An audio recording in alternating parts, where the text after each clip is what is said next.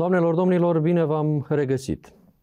Astăzi, în cadrul lecției de istorie, vom uh, discuta cu un bun român din Basarabia, profesorul Ion Teleman din localitatea Iurceni, Nisporeni, cel care stă necontenit la straja adevărului și a demnității națională, fiind unul dintre cei care, la sfârșitul anilor 80 ai secolului trecut, în perioada mișcării de eliberare națională, a organizat cenaclul literal Mihai Eminescu din Nisporeni.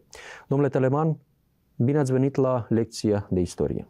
Bine v-am găsit.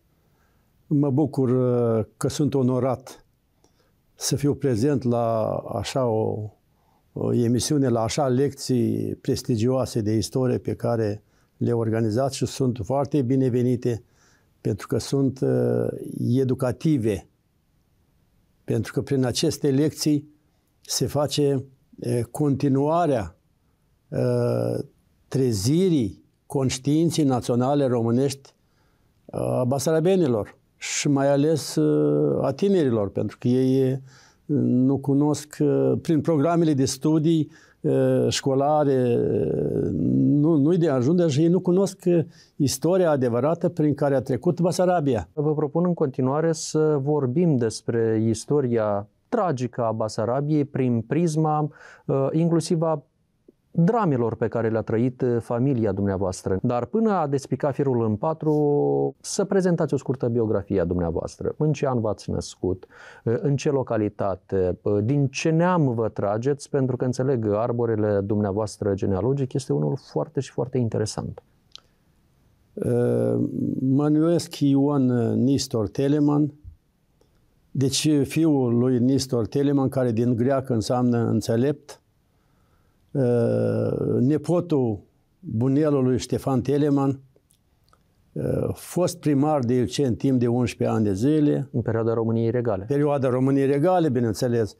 Uh, exterminat de regimul comunist în 41, în 40 arestat, în 41 exterminat, pentru că după sentința de 8 ani de zile, care am găsit-o în uh, arhivă, în dosarul de la arhivă, nu mai urmează niciun fel de date, adică el a fost exterminat, fie că în uh, camerele de la Botanica, erau niște camere de tortură acolo, o pușcărie. Botanica un sector al Chișinăului. Da, da, da. Ori în uh, munții Ural, nu, nu mai știm, uh, a dispărut omul, a dispărut fără urmă. Familia noastră, Telemani, provenim din... Uh,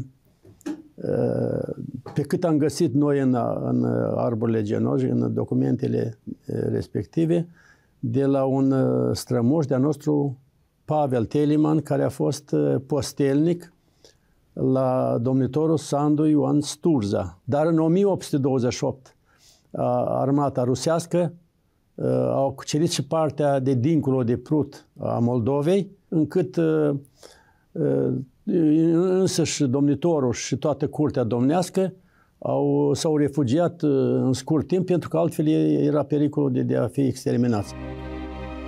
Ioniță Sandu Sturza s-a născut în anul 1762. Tatăl său a fost boierul Sandu Sturza, iar mama Maria Bogdan. A fost căsătorit cu Ecaterina Rozete Roznovanu, fiica marelui logofăt Neculai Rozete Roznovanu. În septembrie 1822, după o lungă perioadă de regim fanariot, poarta otomană îl numește domn al Moldovei, fiind un adversar declarat al influenței țariste în Principat. Domnia lui Sturza a durat șase ani și s-a încheiat în timpul războiului ruso-turc din anul 1828-1829, atunci când principatele române au intrat sub ocupația țaristă. Pe 27 aprilie 1828, la indicație directă a țarului Rusiei, Nicolae I, domnul țării Moldovei este exilat în Basarabia, ocupată de ruși încă din anul 1812. Ioniță Sandu Sturza a cerut permisiunea să se stabilească în localitatea Visterniceni, situată în preajma Chișinăului, pe proprietatea rudei sale, boierul Dimitrie Râșcanu. Exilul lui s-a încheiat abia în iulie 1834, atunci când i s-a permis să revină pe malul drept al Prutului, acolo unde și-a trăit ultimii ani din viață. A decedat în anul 1842 și a fost înmormântat la Biserica Bărboi din Iași. Și iată că strămoșul nostru s-a refugiat în, într-o localitate ascunsă în zona de Codru, Iurceni. Aici pe malul stâng al Prutului. Da, pe malul stâng al Prutului, în Basarabia, și a venit cu soția Maria și aici s-a născut primul lor fiu, Ștefan. După aceea a urmat a doilea, a doua generație Vasile, pe urmă a treia generație bunelul Ștefan Telemann. Adică venim dintr-o familie de oameni care e, au fost administratori. Bunelul în e, 1914 a fost, e, fiind bunelul Ștefan Telemann, fiind bărbat tânăr, a fost înrolat forțat de către regimul țarist și iată el fiind rănit a căzut prizonier în Austria. Până în 1918 el a fost uh, prizonier în Austria, uh, văzându-l nemții că el e Telemann, vă zic că, și uh, discutând cu el ce au înțeles și l-au pus administrator la, un, la o fabrică de lactate. Patru ani de zile a făcut prizonieratul, s-a întors acasă cu bine. Iucenenii văzând că este un cărturar, un bun, niște aptitudini de, de administrator, administrator, de a conduce, l-au ales primar. 11 ani, vă zic că el a făcut parte din Partidul Liberal, a, a înfăptuit reforma agrară, vă zic, nu întâmplător a fost ales pentru că era o problemă nerezolvată la Leceni, reforma agrară.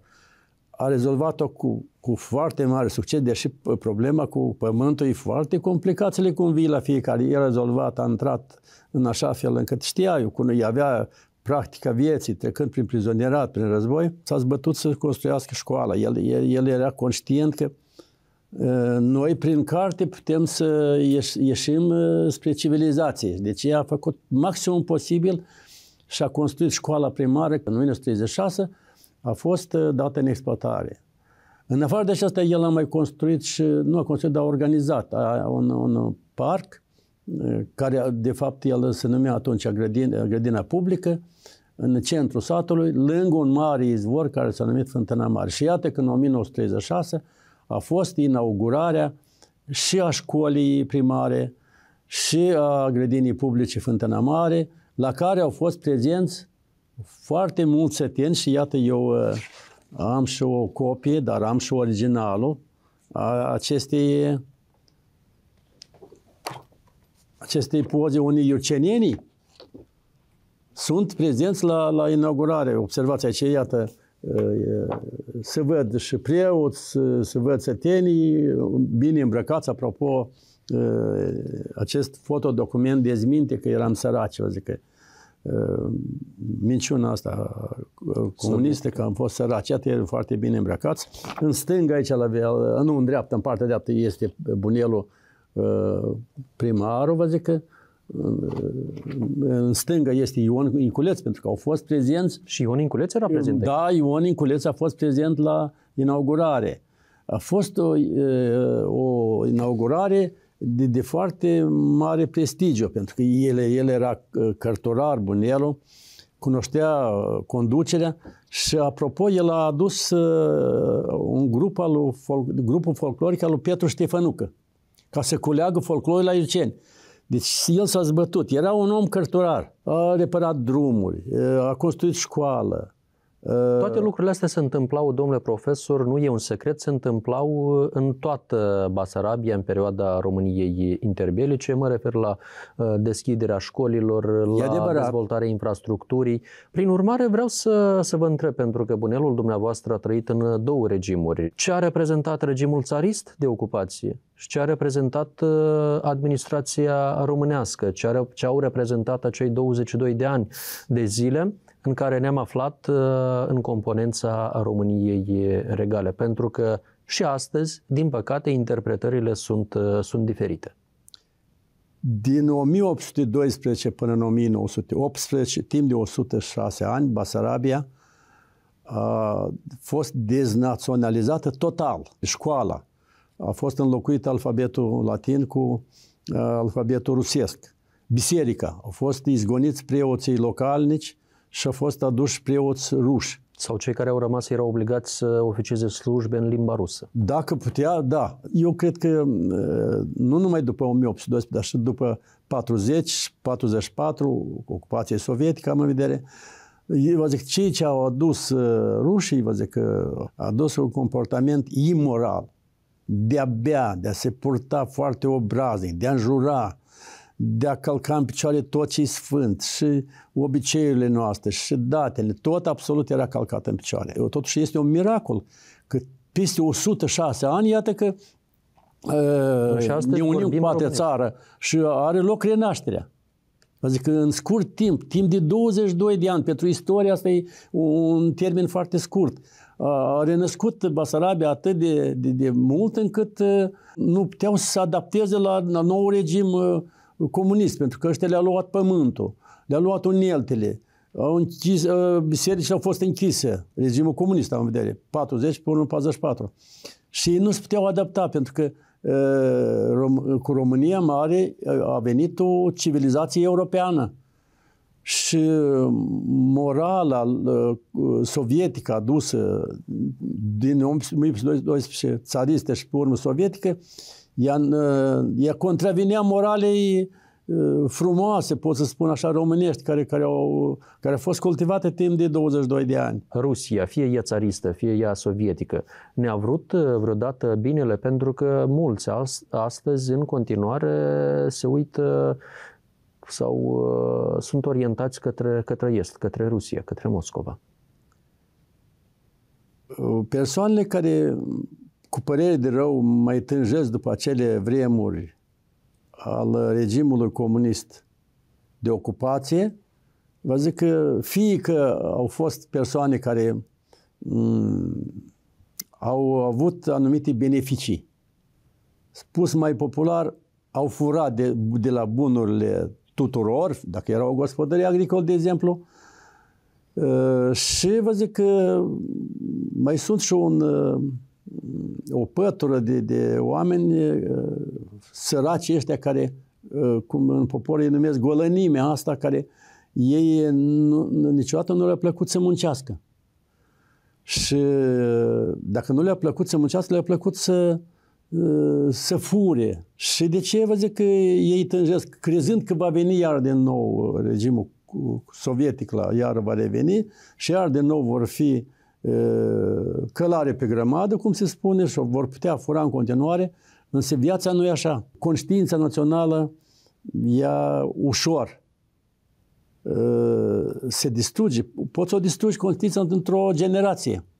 Pe când renașterea ei, revenirea, recultivarea ei este nevoie de câteva generații, deci cam trei generații ca să...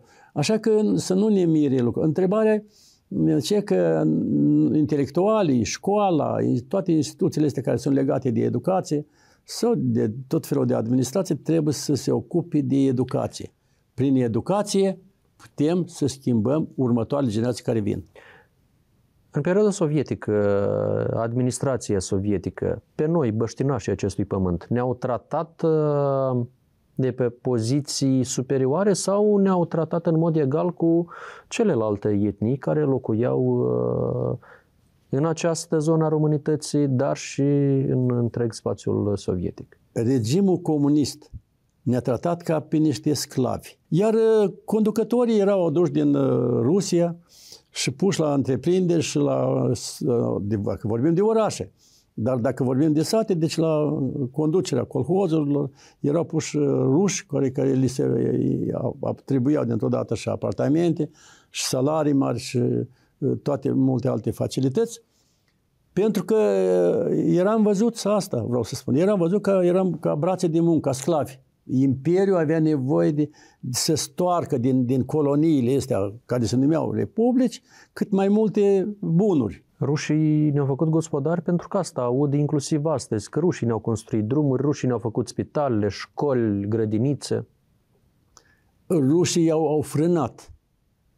Că dacă noi am fi fost cu patria mamă în continuare, cum am început în 1908 și în continuare și fost cu patria mamă România, și nu aș avut pe capul nostru regimul ăsta comunist, România și Basarabia, adică integral România Mare, noi avea să fim o, o țară uh, nu departe de Germania, de exemplu, sau de Italia, pentru că uh, potențialul economic era mare. De altfel, în România sunt foarte multe bogății subpământene, ei pline de munți și munții sunt pline de minerale marea, pădurile, totalmente, toate premizele pe erau dacă să devenim o țară, România mare, să devenim o țară foarte bogată. Dar regimul comunist și de la noi și de acolo a frânat și de ce, de ce și suntem săraci, încă de acolo vine sărăcia și plus că și educația, dar ce, ce au spus ei? Că săracul este bun, săracul trebuie să conduc. Cum se poate să conduc un sărac dacă el, ia că de exemplu la noi, la Iuceni, erau puși în fruntea gospodării oameni totalmente necărturari, total, care nu se putea uh, descurca cu o gospodărie mică a lui și atât acest uh, om lenos, bețiv, era și cazul bețiv, și era pus în fruntea uh, colhozului. Nu ne-a făcut gospodari, ne-au sărăcit. Ce a urmărit regimul sovietic prin deportarea și înfometarea societății din Republica Sovietică Socialistă Moldovenească, actuala Republică Moldova? La început, uh, basarabienii nu acceptau uh, uh, regimul ăsta prin, din mai multe condiții. Le-au luat pământul. Ce înseamnă că unui țăran iei pământul? Unelte agricole, animale, tot, i-au lăsat fără nimic. Și evident că a fost o împotrivire. Și ca, să ca să le frângă această împotrivire, ei au recurs la deportări și foametea uh, programată în 46-47, 2 ani de zile, a fost grozevenii. Personal născut, eu sunt născut în 1946, părinții ne hrăneau cu semințe de, de la struguri, date prin râșniță și de mai multe ori transformată, făcută în făină și amestecată cu o leacă de făină de, de porumb. Și iată că noi am supraviețuit, vă zic că asta a fost să ne, să ne îngrozească, să ne frângă și să fim ne, nevoiți să, ne, să se scrie oamenii în colhoz. Și așa și era uh, foametea, deportările și la urmă îl chema la primărie președintele Sovietul Sătesc, un golan, niște, și la noi au fost mai mulți acolo, niște golani care totalmente erau nimic în satul Irceni, dar era cu uniformă militară cu pistol la brât, punea pistolul Pe masă. la piept și îi spunea, scrie cerere că nu te poți conduce tu singur în gospodăria ta, la care protestul evident că apărea. De eu am, am 4-5 hectare de pământ, m-am isprăvit, nu scrie cerere și era amenințat și el scria, rog să fiu primit în colhoz pentru că nu mă pot conduce de unul singur și semna. Era nevoit să semnez, că altfel era amenințat, altfel te deportăm. Oamenii au fost nevoiți să accepte uh, până la urmă colhozurile. Peste 50 de ani ne-am uh, aflat în componența Uniunii Sovietice, am fost ocupați de către Uniunea Sovietică, s-a lucrat metodic pentru distrugerea conștiinței naționale a românilor moldoveni din Basarabia. Uh, prin urmare, vreau să vă întreb cum a fost posibil ca după un proces atât de dur de deznaționalizare, la sfârșitul anilor 80 în uh, Basarabia să asistăm la acea mișcare de redeșteptare, de emancipare și eliberare națională. Cum a început uh, totul? Uh, a fost un proces dirijat de la centru sau totul a pornit de la firul ierbii, de prin satele Republicii? Foarte mare rol a avut cei 22 de ani care am fost împreună cu patria mea România. Buniei, bătrânii, spuneau că, că am avut o perioadă de înflorire și s-a văzut și școală, și uh, șase hectare de pământ, reforma agrară, și drumuri, etc., etc., vă zic, s-a văzut. Era ordine în sat, vă zic, de exemplu, jandarmii circulau pentru asta. Și a doilea, vă zic că motiv este factorul genetic în genele, în genele noastre era înscrisă să fim liberi. Da, ne-au forțat, da, ne-au cu o altă, au venit cu o altă cultură care poate fi într-adevăr numită și incultură. Și totuși noi am supraviețuit. Am supraviețuit pentru că, vă spun, și, și codul genetic are importanță, pentru că el uh, se transmite codul genetic uh, la nouă generații.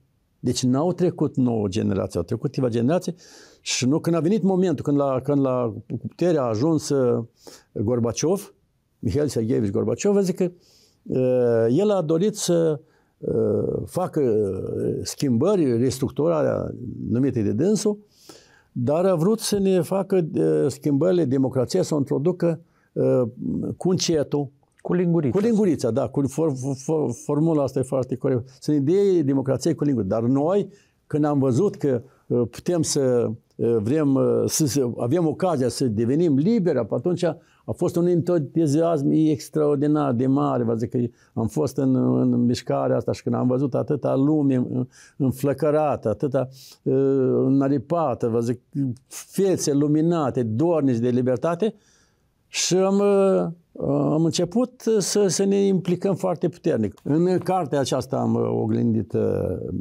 toată mișcarea de eliberare a nisporenienilor, pentru că e, timpul trece și e, nu vreau să se uite pentru că a fost e, mișcarea de eliberare în întregime în Basarabia, dar eu aici am oglindit mișcarea de eliberare a nisporenilor, i-am considerat că au participat la o mișcare înălțătoare. Majoritatea absolută din cei care au participat în mișcarea de eliberare la Nisporeni și întreaga Basarabie conștientizau că este un uh, pericol foarte mare să fim într-o noapte arestat, lichidat și exterminați. Și totuși, uh, ei au mers la risc.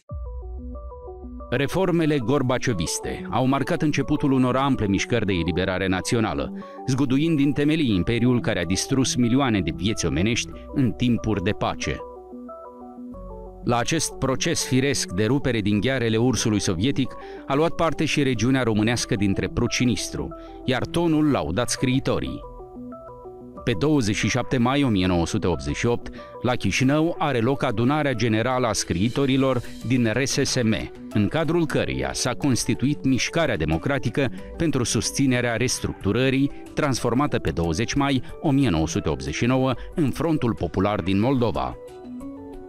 Tot în anul 1988, mai exact pe 15 ianuarie, de ziua marelui poet național Mihai Eminescu, un grup de tineri curajoși în frunte cu Anatol Șalaru a creat cenaclul Alexei Mateevici, la întrunirile căruia participă și Ion Teleman, împreună cu alți oameni dornici de libertate din plasa Nisporeni. Apropo, cenaclul Alexei Mateevici terminat de foarte multe ori cu demonstrații pe, pe bulevardul Ștefan cel Mare, până la Academie și înapoi. Ce scandam noi? La început scandam uh, Unirii Moldoveni. Pe urmă, limba alfabet. Limba și alfabet au urmat imediat. Noi vroiam și limba să fie limba de stat. Și uh, pe urmă am început să uh, ce facem și altfel de revindecări. Uh, jos hătarul de la Prut. Trăiască, trăiască, să înflorească Moldova, Ardealul și țara românească jos comuniștii. În fine, erau, a, libertate, sau despre libertate te dorim, ori învingem, ori murim. Când uh, scandam această lozincă, trecea fiore prin noi, dar erau și îngroziți și tot felul de ocupanți care deschideau geamurile, că noi ne mișcam pe, pe bulevard. Și de ce văd că au fost uh, lozinci și mișcarea a fost foarte puternică? Cenaclu condus de marele patriot Anatol Șalaru avea un efect extraordinar. Noi veneam din uh, sate, orășele, împrejurim, tot veneam la cenacul Alexei Mateevici. Și vă zic că venind de acolo de mai multe ori, văzând și am, pur și simplu am înțeles că mișcarea de eliberare națională uh, din Basarabia va avea izbândă dacă ea va fi uh, susținută și în, în, în regiuni. Deci în orășele, uh, în primul rând orășele din, din Basarabia. La 20 mai 89 președintele Frontului Popular a fost ales poetul Ion Hadărcă. M-am adresat către uh, președinte Ion Hădărcă și am spus că și apropo, responsabil de, de sectorul Nisporeni a fost uh, membru sfatului republican a Frontului Popular, marele patriot Gheorghe Gimpu. Și iată, vorbind cu dânsi, zic că eu uh, mă gândesc să, să înființez un cenaclu uh, Uh, la Nisporeni. Au susținut foarte, zic, și ei, noi, și noi am pornit, că să pornit să Datina la Călăraș, Miron Costin la Florești, Vatra la Tighină.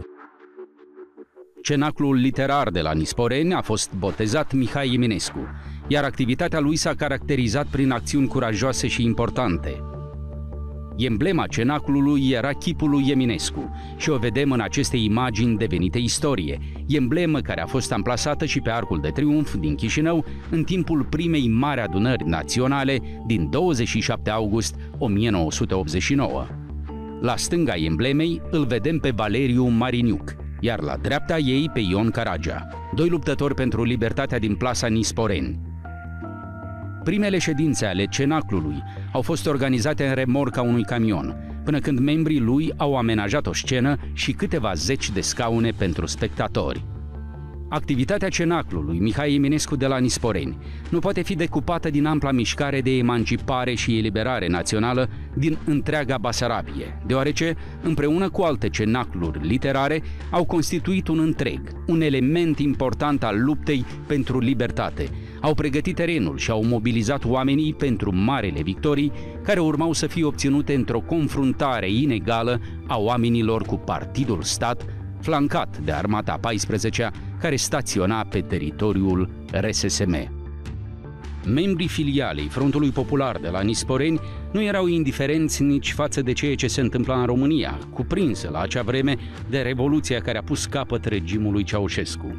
Unii dintre frontiști erau gata chiar să treacă prutul pentru a participa la Revoluție, doar că nu li s-a permis.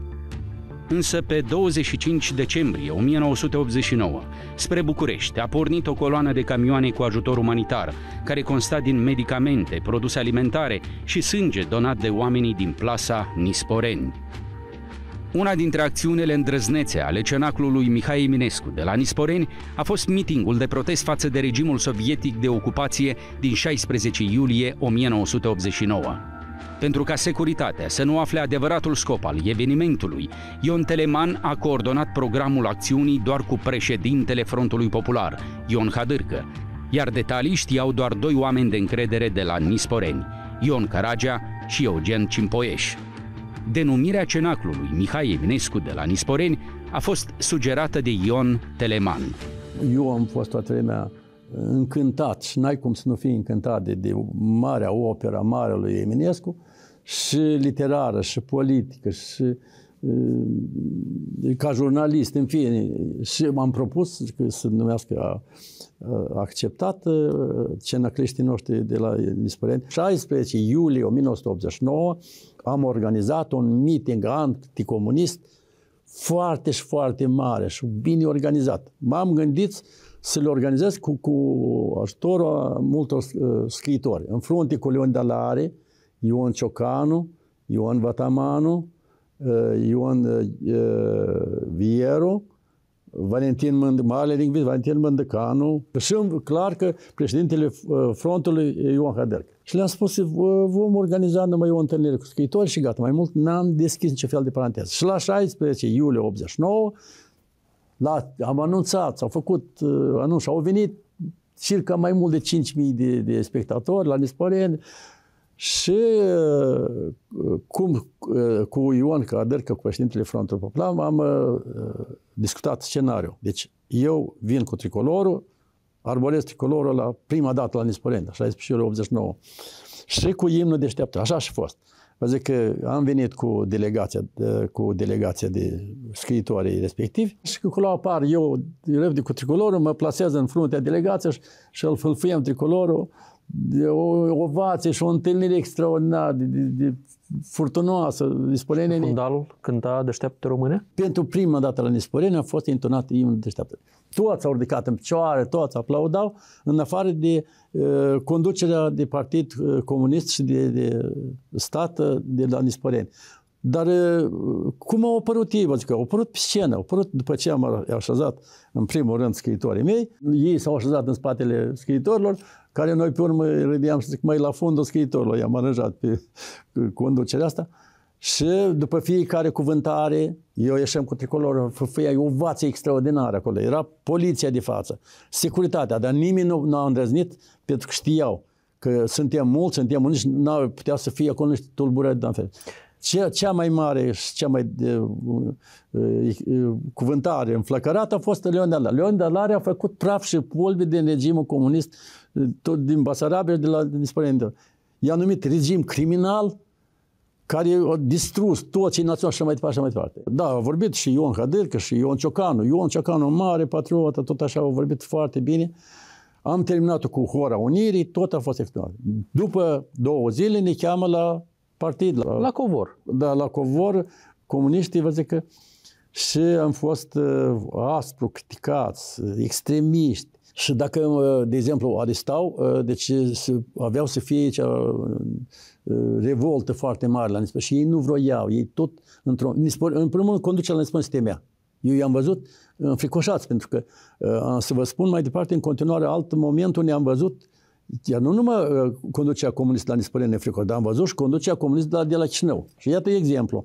La 7 noiembrie 1989, o parte din noi, din frontiști, am spus că ne-am adunat la Ștefan cel Mare sute de și am spus că... Când trebuie să aibă loc acea paradă Paradă, militară. de, de, de să vreau să spun și noi am spus că o oprim, o stopăm, protestăm, nu dăm voie. La care uh, Roșca și sfatul acolo spun o parte dintre spus că nu, că o, vor fi vărsări de sânge și mai departe. Și a doua zi, vă zic că niciun fel am încălcat, niciun fel de, nu ne-am supus. Și la dimineața, pe la vreo șapte, opt, între 7 și 8, de eram acolo la, am organizat să vină grupul de la Nesporeni ai noștri, iar când am venit la Ștefan cel Mare, nu era nimeni și mi-a spus că sunt acolo la Universitatea de Medicină. Ai noștri acolo. Mergem pe repede, repede, ajungem acolo, acolo erau vreo circa 50 de patrioți de noștri cu lumânările în fața tancurilor. Eu m-am alipit cu dânsi împreună cu dânsi, mi-au dat și lumânare toți și la un moment apare poliția asta cu destinație specială, spețnazul în limba rusă, vă zic că, și ne-au bătut, Doamne ferește, ne-au însângerat.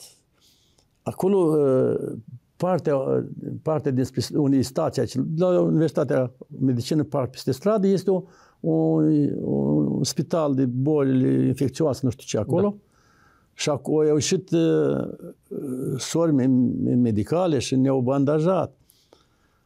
Și au deschis, ne-au bătut, ne-au târâit de acolo, au deschis drumul și toată mașinăria asta, militaria asta, și mașini blindate, și tancuri, toate au, au pornit înainte. Și s-au oprit la, în fața teatrului de operă și balet. Așteptând ora 10 ca să înceapă pro, parada, parada propriu-zisă. Dar de acum acolo, la, după ce s-au, s-au uh, oprit, acolo, între timp, uh, venise orașul, și dacă la început eram acolo circa 50-70 în fața tancului, pe urmă, acolo sau, sau la, lângă teatru sau, au ajuns, au apărut mii, multe mii de oameni și au blocat tot, nu am avut încotro. Dar ce, ce am făcut noi atunci? În loc să permitem, vă zic, să treacă tancurile, am organizat noi o coloană. Noi, frontiști, am organizat o coloană. Și iată, eu am păstrat, vă zic, uh, banderol, pentru că am fost unul din acei care am condus coloana, filmați. Inițialele, inițialele Frontul, Frontul Popular de Moldova. Și am păstrat-o în arhivă, am păstrat band, cu bandă la asta. Și am fost unul din acei care au condus coloana în fața tribunii unde era monumentul marelui terorist Lenin. Care era scopul acestei coloane? Da, ce mesaj voi să transmiteți sau ce noi scop urmăresc? Da? Vroiam să demonstrăm că, că noi suntem uh, mai puternici ca dânsii și nu le permitem uh, uh, regimului criminal, regimului de ocupație să facă parada la noi în, în, în Cineu. Și gata. Am uh, trecut drept în fața tribunii și era Simeon Culmici Grosso și Smirnov și toți, toate conducerea de partid comunist de ocupație din asta și în dreapta și în stânga era înconjurat de generale armatei a 14. Fiind aproape, am văzut fețe îngrozite. Domnule, am, cum așa? Ei așteptau să treacă tancurile lor și acolo noi, cu, cu banderole, cu, cu scandam jos comuniștii, doamne, a fost un moment extraordinar, n-am să-l niciodată, vă zic că și-au uh, au privit, au privit și au văzut că noi scandam, ne-au oprit, scandam de doamne și au, au fugit, au plecat.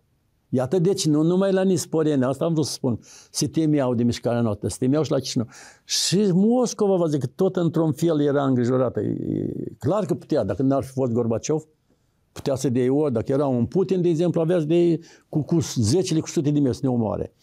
Și totuși Gorbaciov s-a gândit că nu, nu trebuie să făcute vărsări. A fost mai, el a fost mai, mai democrat, cum ne dau. De altfel și a fost apreciat de... Premiul Nobel pentru pace. Da, da, da, premiul pentru pace. Adică.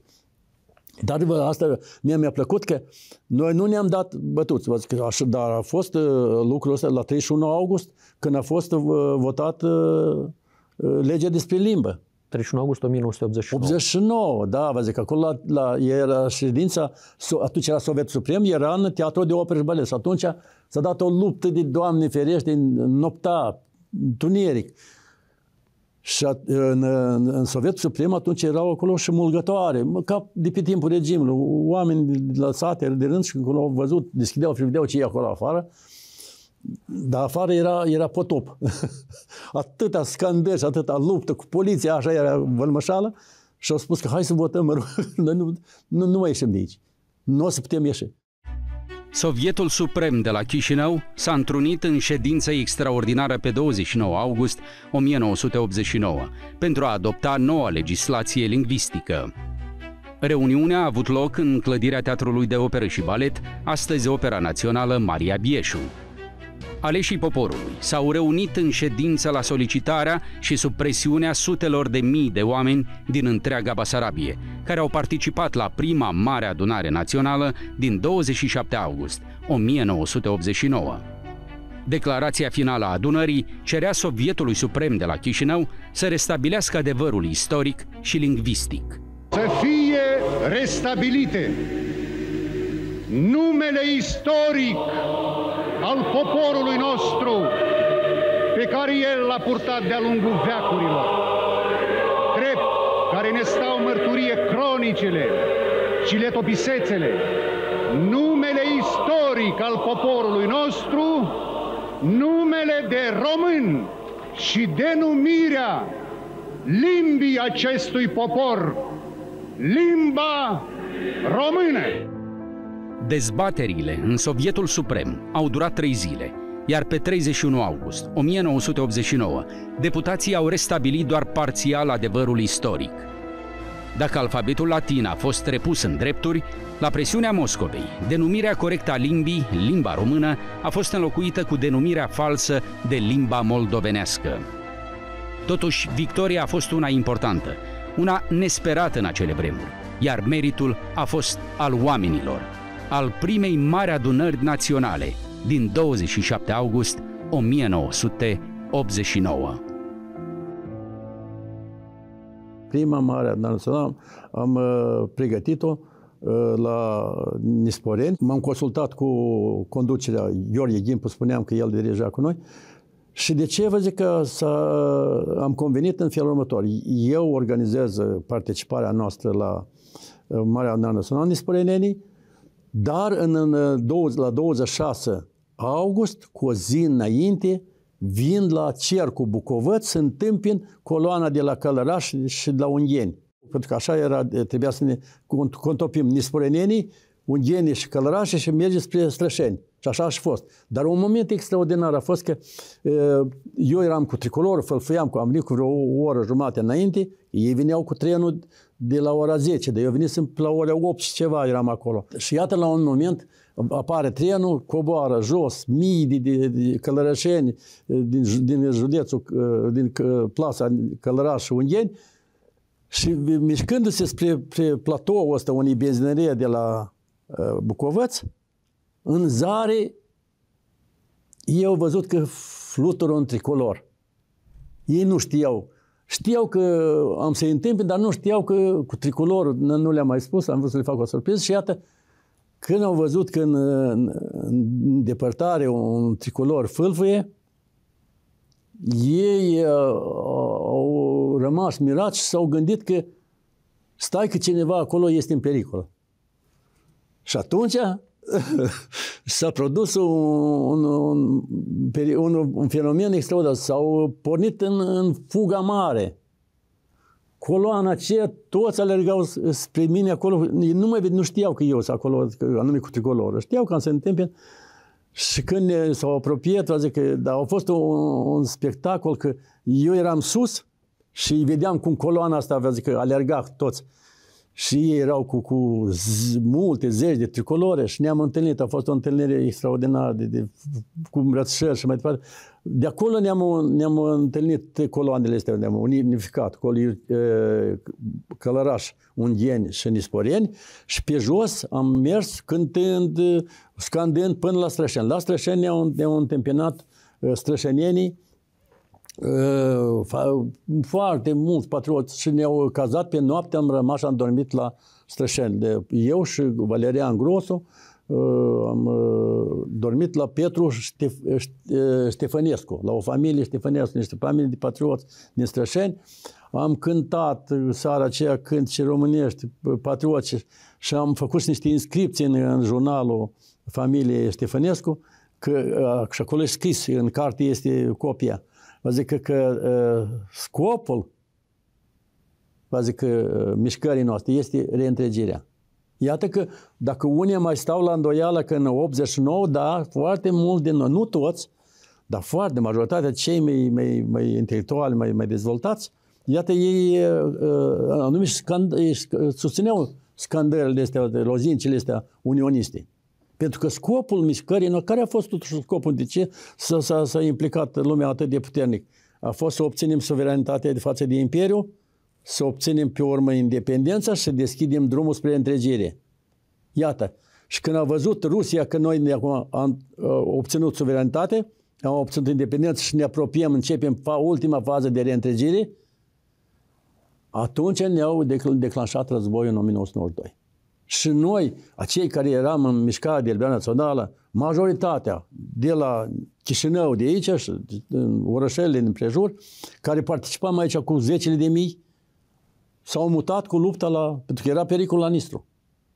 Armata a 14 au trecut în satele de, de, de dincoace de Prut, de dincoace de Nistru și au început să comite crime, să dea foc, să violeze, să împuște de la oaltă și atunci ne-am mutat cu toții voluntari și eu am fost ca voluntar la 46 de ani în satele cea de la Nistru, Cociere, Chițcane, Coșnița. Coșnița, vă zic că s-au, s-au pornit ca voluntari până și pensionari cu armă de vânătoare, i-au ieșit și i-au oprit pe barbarește, vă zic.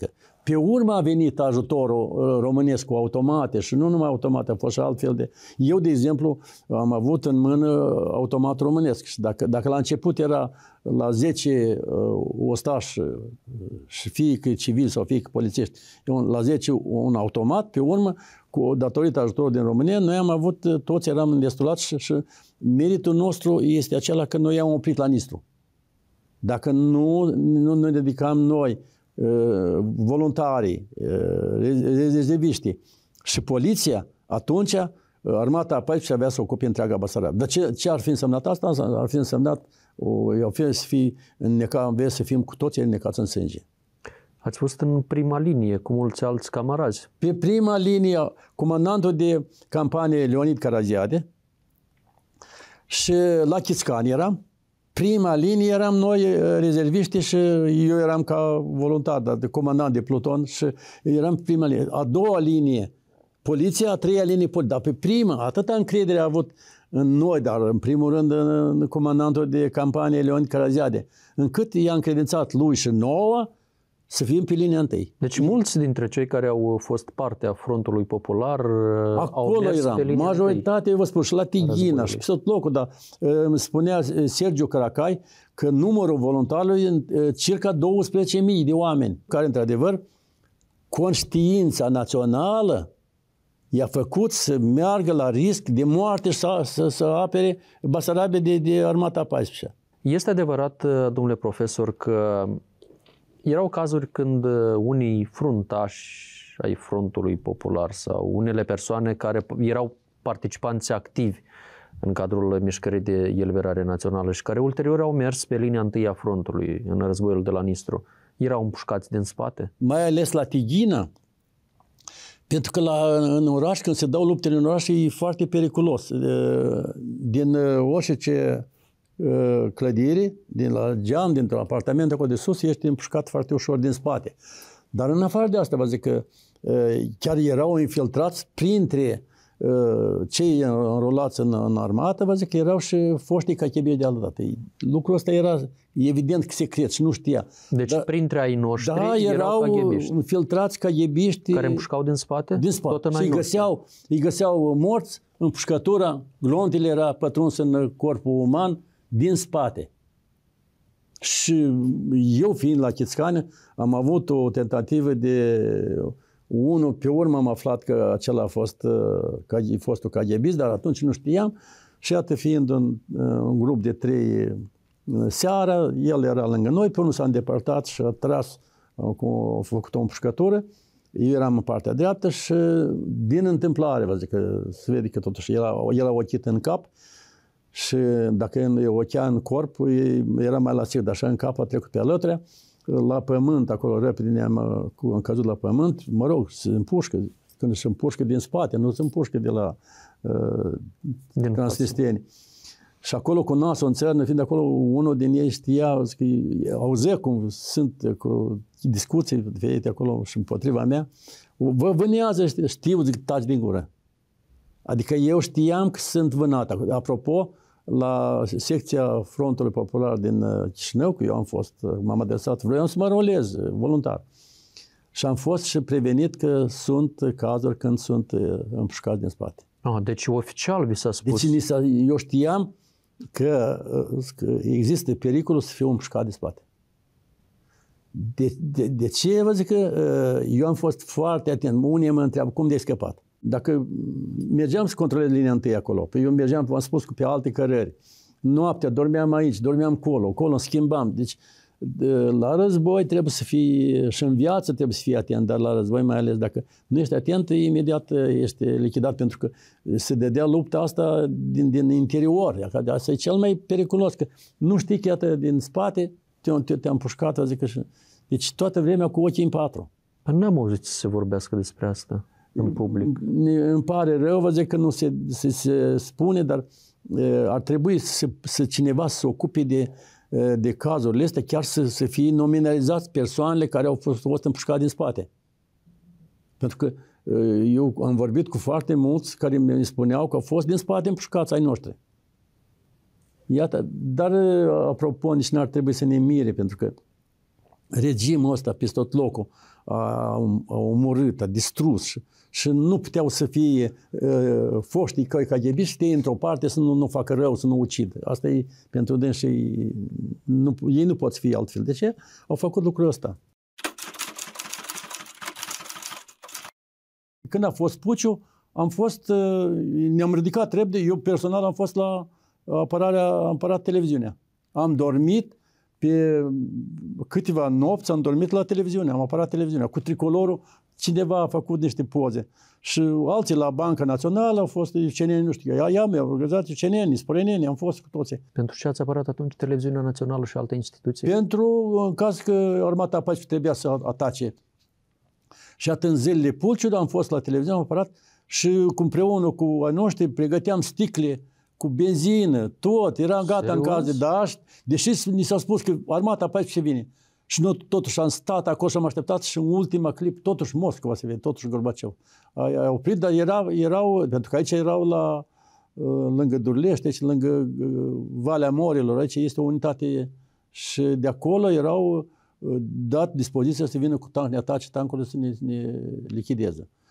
Ceva s-a întâmplat, dar noi am fost acolo cum se spune, pe viață și moarte. Gata, am stat și am așteptat în caz de ceva, cu sticli, cu, cu dopuri, acolo era... El Molotov. Cu, să, să aprindem, să dăm foc. Cât avea să apărăm cât până la ultimul. Așa a fost momentul și nimeni n-a, n-a, n-a vrut să plece, că ia, că e pericol și am plecat. Nu, toți acolo am stat, unul ca unul. Eu de ce am numit mișcarea înălțătoare? Pentru că au fost adevărați patrioți. Gata să se sacrifice frumos de tot, pentru că când ai oameni de felul ăsta cu dânsii, poți să lupți, poți să obții și izbândă. Ce le spuneți celor care în continuare cred că noi, moldovenii din partea stângă a Prutului, suntem diferiți de moldovenii din dreapta Prutului? Nu suntem diferiți, o zic că suntem același neam, același cod genetic. Românii, fie că din Moldova sau din uh, Transilvania sau din Muntenia, Am trecut prin uh, timpuri foarte grele. Ba sub turci, ba sub tătari, ba sub turuși. De ce? Încă este un miracol. Că noi ne-am păstrat mai mult de 2000 de ani pe pământul ăsta. Ne-am păstrat, am rămas ca națiune.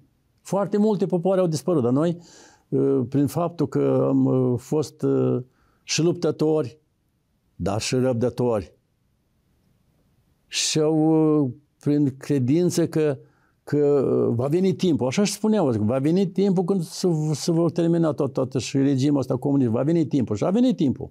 S-a prevălit, s-a năruit Uniunea Sovietică din, din motive economice.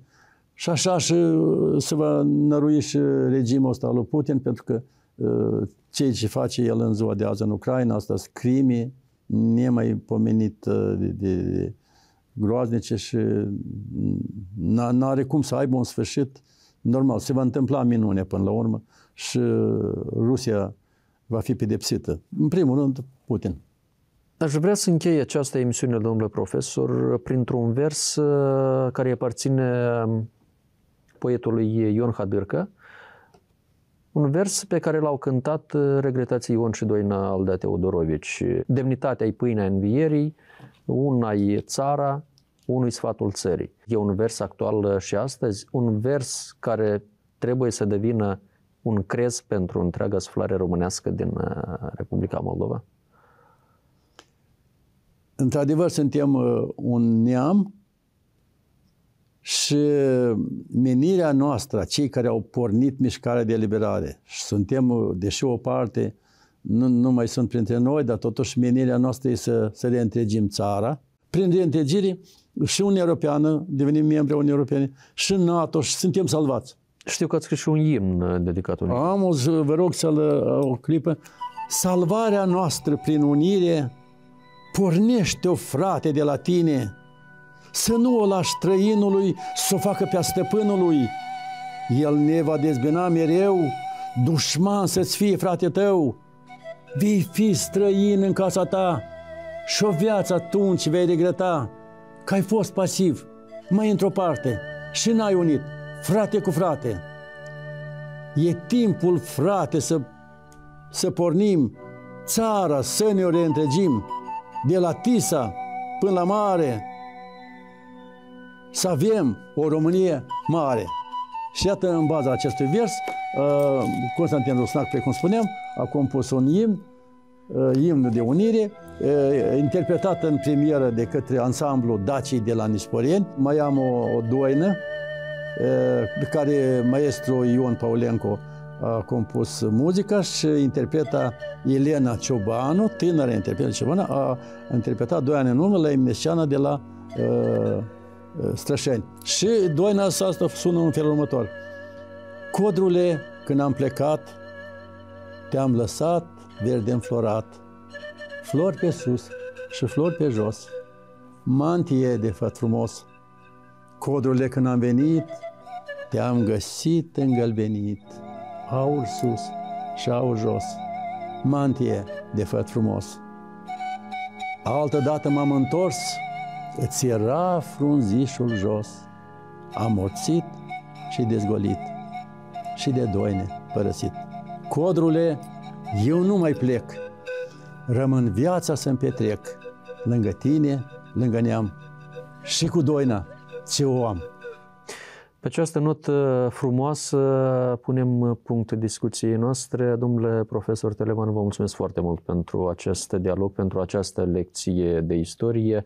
Ne mai revedem uh, sănătoși cu alte ocazii. Doamnelor, domnilor, domnilor voastre, vă mulțumesc pentru atenția cu care ne-ați urmărit, iar noi ne revedem deja săptămâna viitoare. Până atunci, toate bune!